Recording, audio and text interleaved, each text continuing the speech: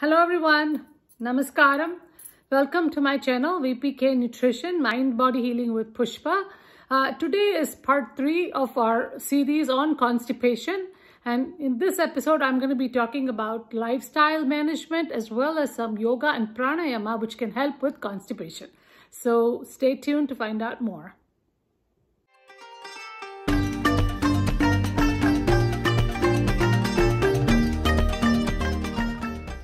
Welcome back, everyone. Uh, first of all, thank you very much for all my viewers and those who have already subscribed to my channel and uh, have been watching on a regular basis. Uh, for those who haven't already done, please do subscribe to this channel. And if you like this video, give it a thumbs up, uh, put some comment in there, and also share with your friends and family so others can also benefit from the knowledge that I'm sharing. So let's get started. Um, the This is part three of uh, uh, the series on constipation. So the first uh, part I shared a lot about what is constipation, how it affects people, what are the some symptoms and causes. So please go watch that if you haven't already done so because it does manifest differently in different doshas. And in the second episode, I talked about some of the dietary changes that are needed, what foods to eat and what not to eat. Again, I'll put all the links in the description so you can go watch them. In today's episode, I'm going to be talking about some lifestyle changes that you can do, as well as some yoga and pranayama, which are very specific for constipation. So let's get started. Number one, activity. Activity is very important. It's it's so important that we keep moving because only when we move are we going to actually move our bowels. So try to do some exercise. Walking is a very good exercise at least 20 to 30 minutes a day or at least try 10 to 15 minutes maybe half an hour after you eat your meals. So this will keep you regular and um, you'll also feel much lighter and healthier. Number two Stress is a major factor in a lot of our chronic illnesses and definitely leads to constipation. So it's very important that we learn to manage our stress. Now we always have to face lots of uh, you know things in our day-to-day -day life, but it's important we learn to manage those things without getting too agitated or disturbed by it. So a couple of things you can do for stress management. One of them, of course, if you're always sitting at the desk and working, make sure you take some breaks, walk around a little bit, or even take some deep breaths every, every couple of hours so you get the vata flowing freely in the body. And if you have the opportunity, also go out and take some nature walks because nature has a way of giving us a lot of prana. The second thing you can do for stress management is Abhyanga or oil massage.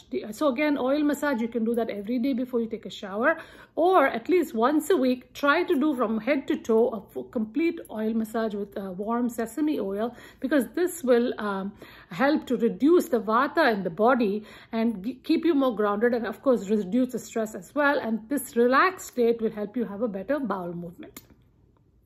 Number three is sleep. Now again, sleep is very important. We all know this, uh, how we need to follow the circadian rhythm, live with harmony with nature, get a good night's sleep.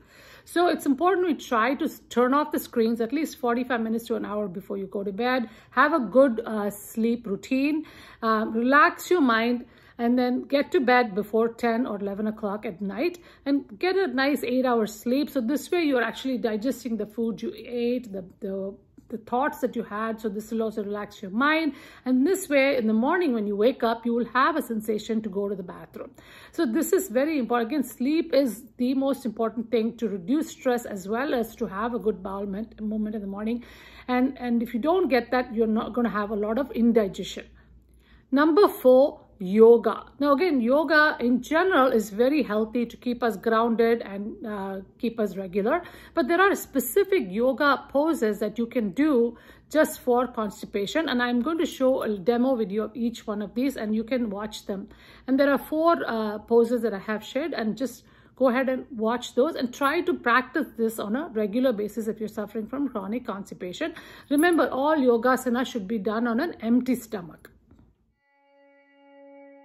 Hello everyone. So asana number one is called Vajrasana. So in Vajrasana, you're basically sitting on your heels with your knees folded. So if I'm going to do sideways, um, this is how you would be sitting. Basically, your toes are touching the floor and sit nice and tall with your back straight and comfortable. And you can sit like this right after you have a meal uh, for about five to 10 minutes or however comfortable you feel. So start very slow depending on your capacity and time. Now the other thing you can do if this hurts for you, you can always take a cushion and then place it on top of your legs and then have a little bit of height there and this may be a little less painful. So try this this week. Again, just start slow with one minute and then keep going. Listen to your body and go with your own pace. Now asana number two is called Ardha Matsyendrasana. So here you're extending your left leg, bending your right knee, placing your right foot on the outside of the left knee, bending your left knee and your heel touches your buttocks. Now keep this one nice and tall. So this is perpendicular to the floor. Take your left arm over the right. Take the other arm behind you. Then inhale and stretch. Exhale and twist to the right.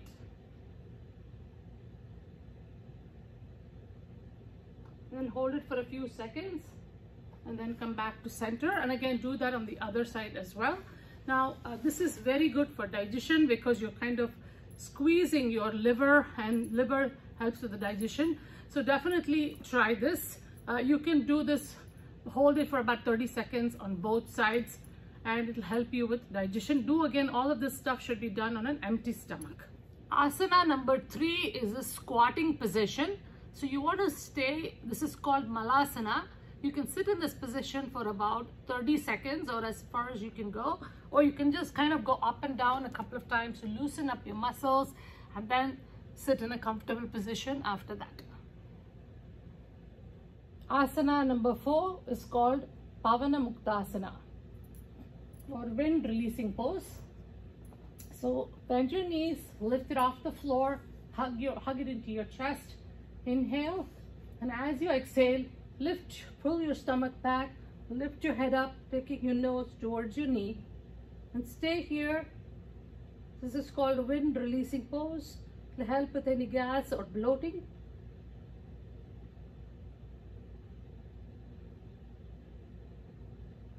And then slowly bring your head back down, bring your feet back down, and then extend your legs and just relax in Shavasana a little bit so you get your whole body feels relaxed. Number five is pranayama. Now again, pranayama is deep breathing or extension of your breath. There are two specific ones that I have shown. One is called Kapalabhati, where you are, uh, the inhalation is normal, but exhalation is forced. So you kind of like a pumping action of the stomach. But I would like you to do that very slowly. Um, and this will help with digestion as well as moving the apanavata or the elimination downwards. The second one is just basic deep breathing and hold the air in your stomach belly. This is called a bandha where you kind of um, holding it like a pot for maybe a count of five and then releasing it. So this way you also help with the toning of the muscles and elimination the in helping with the connecting the prana and the apanavata uh, through the digestive system. And i'm going to show you the demo of these two so pranayama is controlled breathing. So we're going to do two of them today. One is called Kapalabhati, which is also considered to be a kriya or an act activity or action, karma. And the other one is uh, just deep breathing and holding it. So first one is Kapalabhati. So here you're going to um, just do like a pumping action. So the inhalation is normal, exhalation is forced. So I'm going to show you this.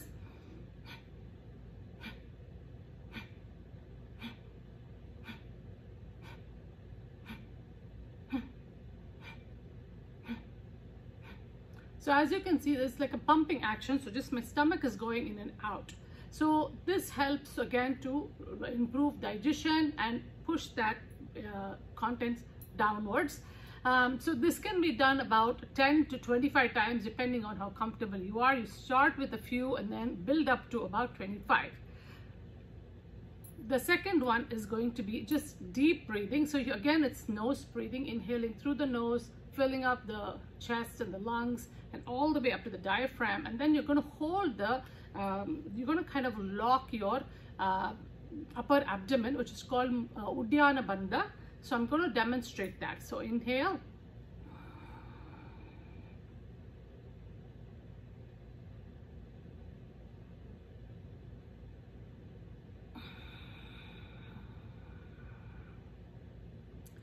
So you're locking the upper abdomen and making it like a pot and holding that air inside and then you're slowly exhaling out. So if you feel like you're uh, out of breath, then that means you're holding it too long. Do a shorter time because you want the uh, action to be very smooth. So this can be done about 10 times. This is something, again, all of these have to be done on an empty stomach.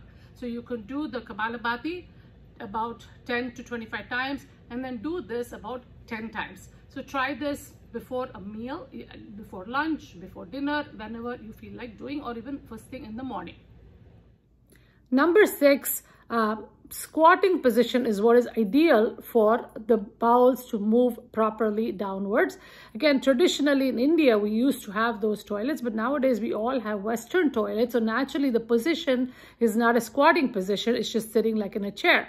So naturally there is difficulty moving the bowel. So you can get something called a squatty potty or even just a stool that you can keep in front of your um, toilet, keep your feet up onto it. And so your knees are up and you, you are kind of in a squatting position and this can also help things move down better. Number seven, emotional health. Now again, emotional health is also very important. A lot of times when you're upset or uh, depressed, anxious, all of these things can affect you from having a bowel movement. So it's very important that we keep our mind relaxed. And if you have this tendency to get angry or anxious or depressed, so try to practice some meditation. Just kind of sit quietly for some time and just observe your breath. And even that can be very calming uh, to your mind. And this could also help uh, relax things in the body. Number eight, traveling. Now, a lot of times when you travel, whether it's for pleasure or for business, a lot of people travel throughout the week. This tends to increase vata quite a bit, especially if you're flying from place to place.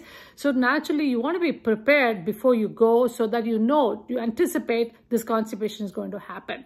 So um, definitely plan ahead. Make sure you have your meals set up properly. You eat easily digested food, eat smaller quantities.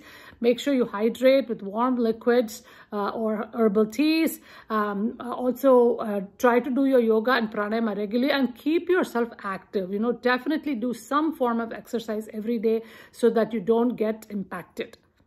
Hope you enjoyed today's episode. I'm going to give you a quick recap of what I just shared today. Number one, um, stay active, keep moving. Number two, reduce stress with the strategies I gave you. Number three, get adequate, timely sleep. Number four, practice yoga asanas that I have provided. Number five, try the pranayama that I have shared. Number six, use a squatty potty or a stool in the toilet. Number seven, take care of your emotional health. Do some meditation. And number eight, be prepared if you're going to be traveling, anticipating what is going to happen and prepare accordingly. So for this week, listen to your body, observe your mind and help yourself. And see you next week again with a new episode. Have a wonderful week ahead.